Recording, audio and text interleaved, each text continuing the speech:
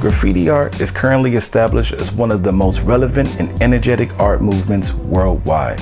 The style of expression and lifestyle has inspired many over the decades, and Oklahoma is fortunate to have birthed some of these amazingly talented artists. Oklahoma's graffiti culture is large and deeply rooted.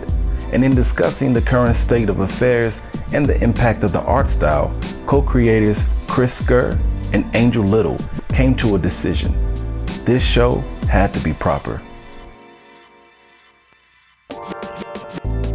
As such, the collective work is exclusive to the duration of the exhibit. The pieces ultimately will be painted over, holding true to graffiti's ethereal quality. Not for Sale presents 10 skilled artists, an exciting who's who of Oklahoma-based graffiti, each representing a variety of styles and backgrounds.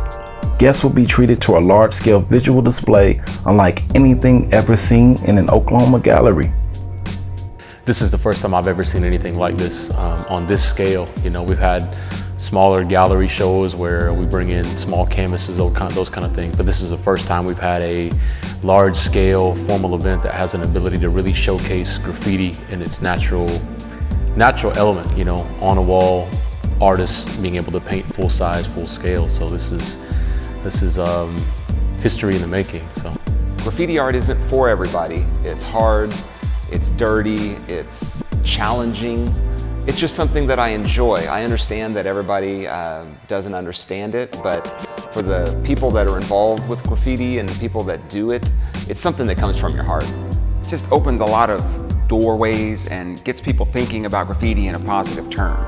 There's something about a spray paint can. There's something about the way paint comes out of the can, the way it flows, the way it's so forgiving.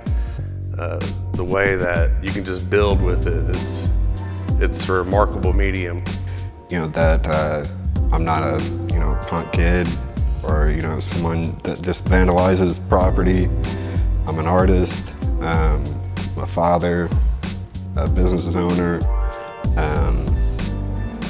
I'm, a, I'm a good guy. I mean, there's no right way to do graffiti, but there's a million wrong ways. You know, it's it's an actual art. You know, people have came a long way with this, and um, um, people are doing it across the world, um, across you know, every nation. It's it's here to stay, man. It's not going anywhere.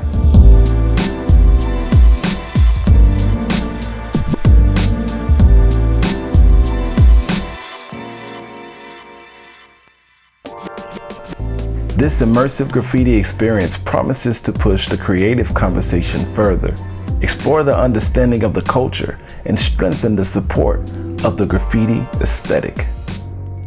We hope you enjoy the artwork that you see here at Not For Sale, and we encourage you to communicate with artists with the opportunity that we can come together and work together to create a better place, to create a better environment, and see how these talents and these capabilities can be used to enhance our world and to give our world color in a bland and lifeless environment. And so many things going on around us now. We need something to break us up, to bring us back. Our souls are not for sale. Our spirits are not for sale. And that's what this artwork represents. So for everyone, thank you. And remember, enjoy the life that we get.